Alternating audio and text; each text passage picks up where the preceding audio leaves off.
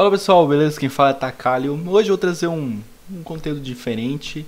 É, recentemente, dia 4 de outubro, o Flow, que é um canal de podcast, fez uma entrevista com o Júlio Witsitsky. Ele fala sobre a Level Up, ele é o CEO da Level Up. Mas ele fala especificamente sobre o RF Online. E agora, no meu canal, como é um canal que tem um grande público de RF, vou trazer um, um pouquinho dele falando sobre o RF. Vamos, vamos assistir aí então. A gente, ao longo do tempo, eu acho que a gente teve cinco jogos bem sucedidos, na minha análise, tá? É, Ragnarok, Grand na ordem, né? Ragnarok, na ordem de lançamento, Ragnarok, Grand Chase, é, PW, Combat Arms e Warface. Esses foram cinco que eu considero assim, ó, esses jogos funcionaram. É, ao longo do tempo, alguns jogos, assim, é, é, legal que a gente é sepultador de jogo, né? Mas ao longo do tempo, os jogos foram morrendo, alguns, é normal. E tem jogos, por exemplo, o caso do RF. O RF era um jogo super hardcore, era grinding, era um é jogo futurista. Não, não, o RF era Rising Force Online. Era um jogo que a gente lançou em dezembro de 2006, era um jogo futurista. Então ah. você tinha. O conceito é muito legal. Você tinha três classes, três raças, desculpa, três raças. E quando você começa a jogar, você escolhe a raça que você quer ser. E duas vezes por semana tem uma treta mundial entre todas as raças.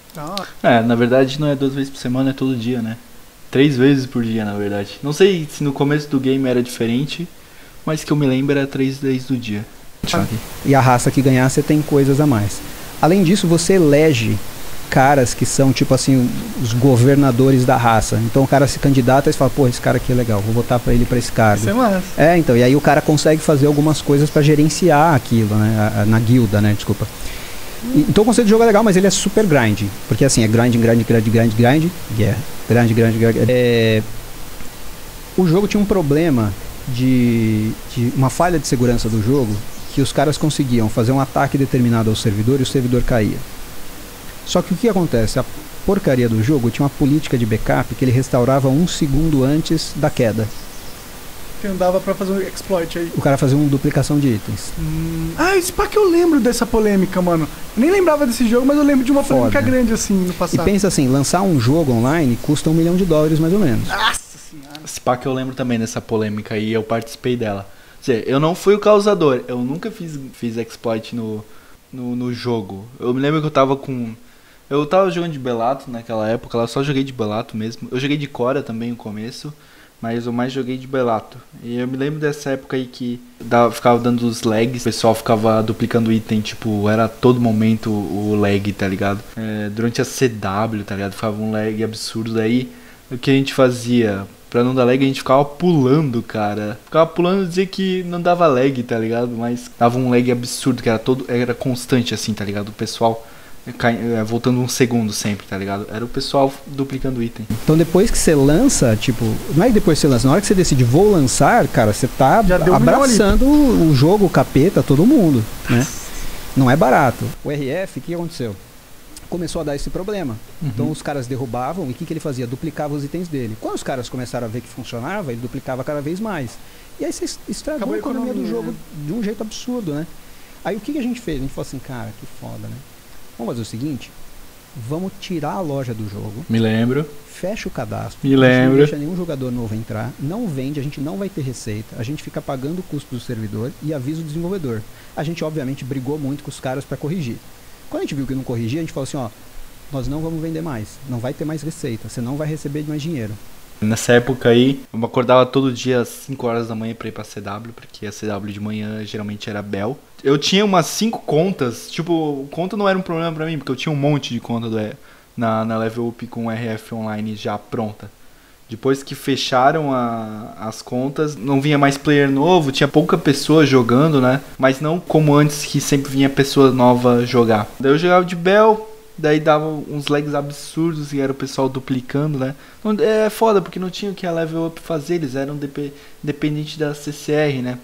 E a CCR tipo, tava cagando pro jogo, eu não sei o que eles tinham em mente, cara. Não deu muito tempo e o RF fechou. Quando você escolhe um jogo, você paga um valor adiantado pro desenvolvedor e você tem uma divisão de receita, ele recebe uma parte da receita. Você tem os custos de operação e aí você vai repassar uma parte da receita pro cara. Então o modelo é interessante pelo seguinte, se eu tenho um jogo que é bem sucedido em 20 países, ele vai receber receita dos 20 países. Eu recebo isso e invisto mais no jogo. Esse era o modelo da época. Hoje em dia é um pouco diferente, mas era o modelo da época. E a gente parou de pagar o cara. Aí o que aconteceu? Quem publicava esse jogo na, na, no Japão era a SEGA. Aí a SEGA fechou o servidor no Japão. Aí a gente falou, isso. Já era. É, você já, você já tá puto, porque você investiu uma grana que você não recuperou, a comunidade tá tirando machado, já não é nem pedra, É, tá verdade, machado. Come o nome da empresa também. Você Sim, fala, ó, Cara, e eu culpava a Level Up, e a Level Up ela não fala mal do, da desenvolvedora. Ela geralmente esconde que é culpa da desenvolvedora. Eles meio que protegem a desenvolvedora pra, pra continuar tendo aquela parceria. Nos, fó- nos fóruns de RF era muita gente enchendo o saco da Level Up pra eles corrigir esse, esse, essa duplicação de item que o pessoal fazia, ficava dando. é, atacando o servidor, né? Duplicando o item.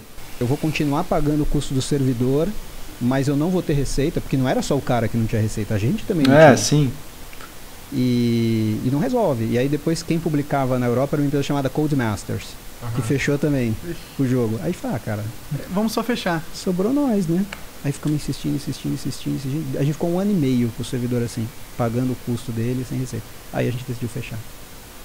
É lamentável, cara. Me lembro dessa época, lamentável. Daí depois eu voltei a jogar só na Red Fox. O RF Brasil, eu não gravei vídeo no meu canal.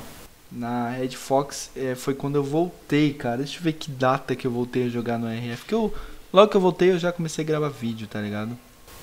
Beleza, ó. Esses que foram os primeiros vídeos. Ah, foi que ano isso aqui? É 2012 que eu comecei a colocar vídeo. Deixa eu ver a próxima página se tem RF online já.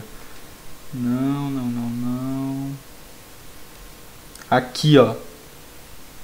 Quando eu voltei a jogar em 2015. É, foi 2015, tá certo. Daí eu só voltei a jogar em 2015, tá ligado? Eu fiquei tempão da level up até ah, voltar pra Red Fox. Daí eu voltei pra Red Fox e joguei um tempão lá ainda. É triste se for parar pensar que de 2006 a 2000 2011 é, o jogo morreu um curto um, um espaço de tempo muito pequeno. E hoje em dia, cara, é, a, a 4 Games trouxe o jogo aqui, 4 Games trouxe o jogo aqui pro Brasil. É, e tipo, foi um fenômeno o lançamento com bastante players, eu fico feliz, tá ligado? Que muita gente se lembrou do jogo, isso é. Isso é legal. Agora a gente só tem a torcer, né? Já adianto vocês que já foi anunciado um, um novo jogo do RF Online. Eu já fiz uma postagem aqui no blog é, sobre o RF para celular. Não sei, né? Vamos ver ali que, que, que todos os direitos da CCR foram vendidos para a Netmarbler. E vai, pelo visto vai ser um jogo de celular que eles vão fazer. A comunidade não gostou muito, né? Mas. Cara, complicado. Jogo para celular é complicado, né? Nós que jogamos RF desde 2000, 2006 vinha assim com o jogo pra, de celular pra nós. Olha isso aqui, velho. Esse- Olha esse jogo de celular que, que já foi lançado. Vocês conhecem isso aqui? É um... Isso aqui é um jogo de turno que não deu certo do RF Online. Não sei se vocês conheciam. Mas não vai ser esse jogo aqui. Eles vão fazer um novo. Tomara que não seja isso aqui, que isso aqui tá horrível. Vamos esperar ali é, ver a- as novas notícias da Netmarbler. Se vocês quiserem dar uma, uma lida aqui no, nisso que eu escrevi aqui, eu falei sobre um pouco, até postei aqui o vídeo dele falando sobre a CCR. Então, obrigado a todos que assistiram esse vídeo. Só queria trazer esse vídeo pra vocês que eu achei interessante. Tá aquela época, é nostalgia pura, tá ligado? Mas é isso. Obrigado a todos, até o próximo vídeo.